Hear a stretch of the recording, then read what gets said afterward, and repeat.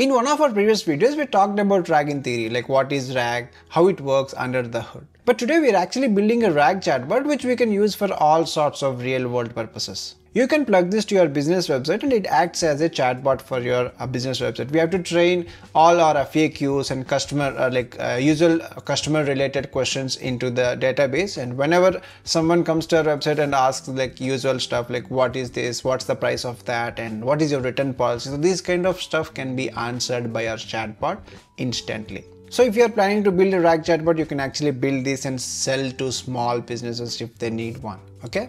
But that's not all. We can also use this as our personal database or personal chatbot. Let's imagine we create a document with all our personal data, not too sensitive stuff like passwords or something like that, but uh, like usual day-to-day -day activities like bank account number or any long-term reminders kind of stuff or any emergency numbers. So this kind of stuff, if we create a document and upload it to our database, and in this case, we can hook this to our Telegram or WhatsApp bot. And now whenever if someone asks what's your account number, so you don't have to worry about those, just go to the Telegram bot and ask what is my account number and it replies with the relevant info instantly. So this is one kind of personal use case in chatbots. And one of the biggest advantages of RAG chatbot is it doesn't hallucinate like regular chatbots do like ChatGPT, DeepSeek, Gemini. These chatbots sometimes hallucinate. Like if you ask something they will give some other answer. Keep they keep hallucinating stuff. So this makes rag powerful because it gives fact-based answers directly related to our data. So yeah, we can build this for a business or for our personal use case as well. So now I'll give you a step-by-step -step guide on how to build this RAG chatbot in n8n.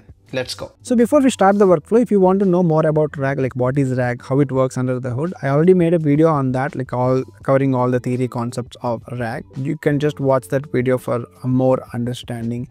And that I'll just give you the link in description or somewhere here on the screen you can watch that. Today in this video i'm not going to cover all those things. I'll just concentrate on the workflow part okay?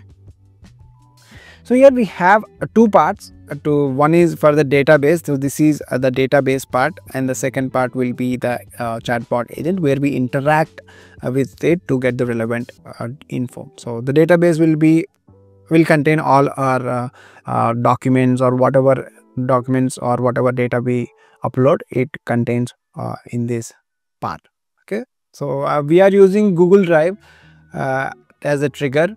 We have to i just created a folder in uh, in my drive and named it as rag setup july 18 and uploaded a simple document which is personal info for this example. And one more thing rag works better with text or markdown format data. So if you have a pdf which uh, contains a lot of images or a lot of complicated stuff it works but it works better with text text or markdown. That's what i mean. So i uploaded this pdf and we are triggering uh, triggering the workflow. Whenever a, a, file is created in our folder it triggers the workflow. And you have to connect your credentials. And if you're using the cloud version you don't have to worry about that. You have to just sign in and then you will be good to go. But if you are using a local hosted version you have to watch our previous video. I made a dedicated video on how to uh, get the credentials how to connect to n8n if you are using local hosted version. So you can watch that video. I'll put the link in the description as well. Okay? And the mode will be every time uh, you can keep whatever time you want you can do that. And the trigger will be when whenever there is a change in the folder then our workflow will trigger. For the folder i just selected uh, the one i created before and we have to watch for whenever file is created. We have a lot of options but we have to watch whenever file is created. And if you click on this our data will come. And now comes the download part. We have to again we are using the google drive node and the file will be resource will be the file and the operation will be download. And here we are fetching the data by using id so you have to click here and click on id and you have to get that id you have to search for our file first. Uh, so this is our file and this is the id you have to drag and drop it over here. And if you click on execute step the file will be downloaded. And now comes the interesting part. So this is where we store our data. In this case we are using pinecone vector store. We have a lot of vector store actually. Let me show you. So this is the simple vector store which is n8n built in vector store. This is Zep vector store and there is Weaviate, Pinecone, Supabase. There's a lot of vector stores. We can use whatever we want, but most of the times you will see Pinecone and Supabase because these are the popular ones. Uh, at least if you ask me, I'll say these are the popular ones. Maybe some people will use Weaviate vector store or other vector stores as well. If you want to make uh, me, if you want uh, me to make a video on Supabase vector store, just let me know in the comments below. I'll try to do that as well. Just we have to use supabase instead of this pinecone vector store. Okay for using this pinecone vector store you have to create an account in pinecone just uh, search for pinecone click on the first link. Just sign in with your email. It is as simple as this just you have to sign in with your email and log in to pinecone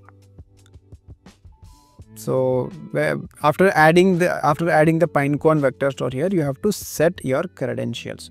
So for that you have to open pinecone api keys create api key give some name and after creating the key you have to copy that and you have to click here and just paste it over here and click on save. You'll be good.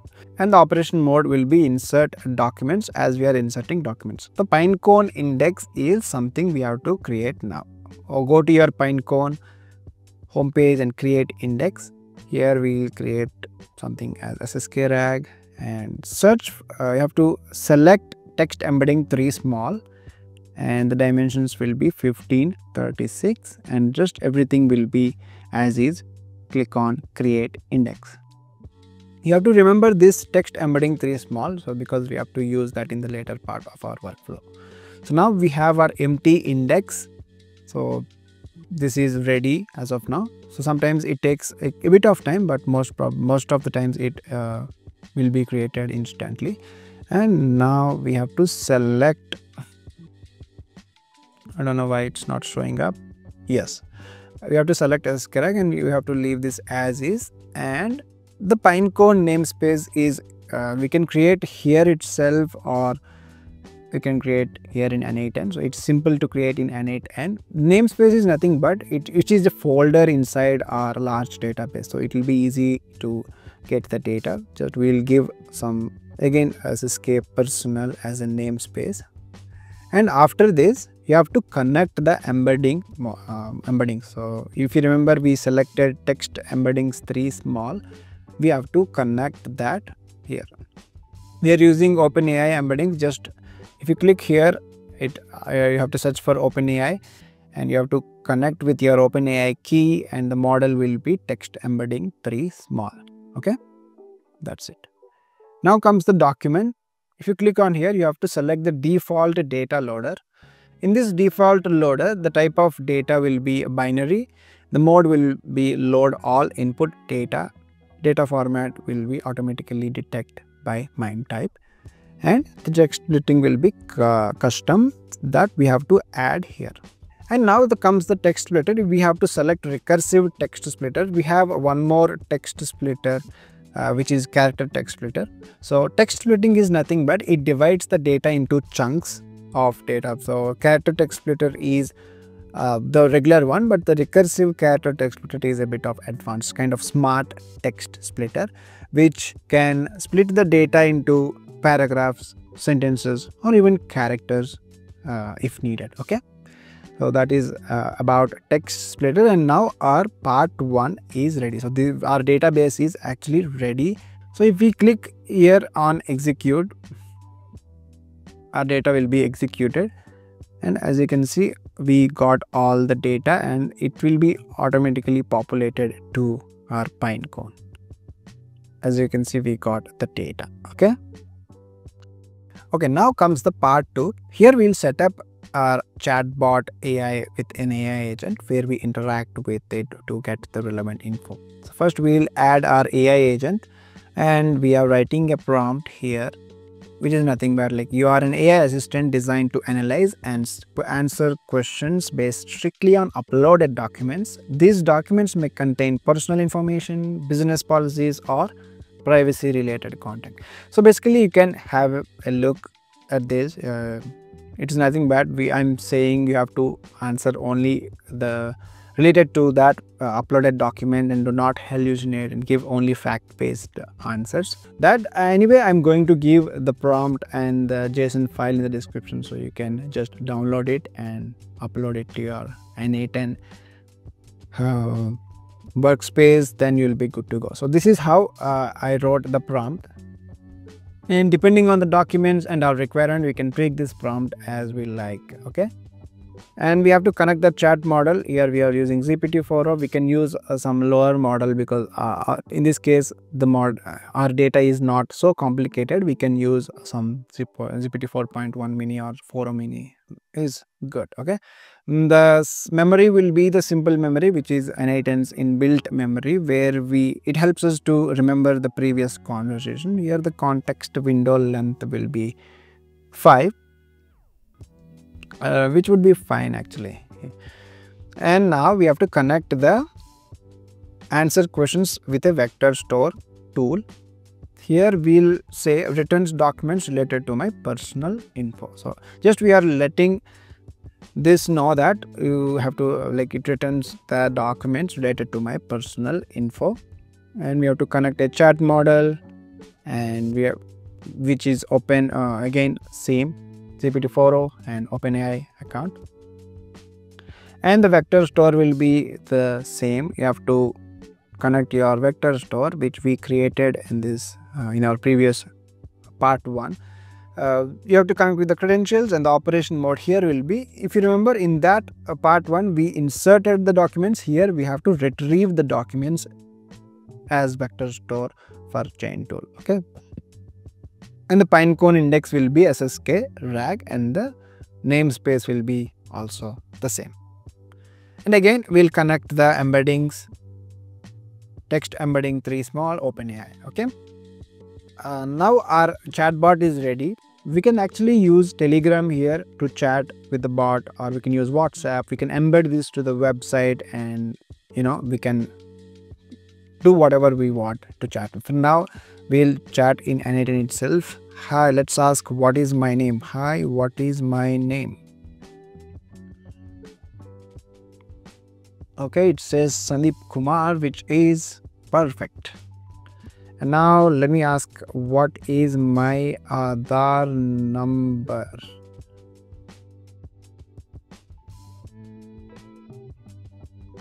What is my Aadhaar number?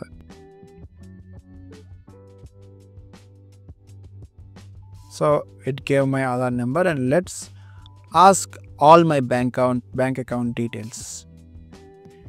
Give me all my bank account details.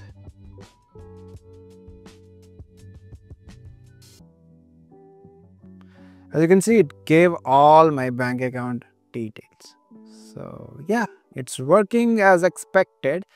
So we can do whatever we want we can uh, you know if you are running a business we can upload all our FAQs, privacy policies, written policies, everything into that uh, database. And we can embed this to our website. And if someone comes and asks what is the written policy and it automatically gets the relevant info and accurate info. And if like whatever questions uh, like most asked questions by the customers it can do that. So yeah this is all about the chat uh, rag chatbot. I think everything was good. I'll give you the json file and the prompt everything in the description below. Feel free to check that out.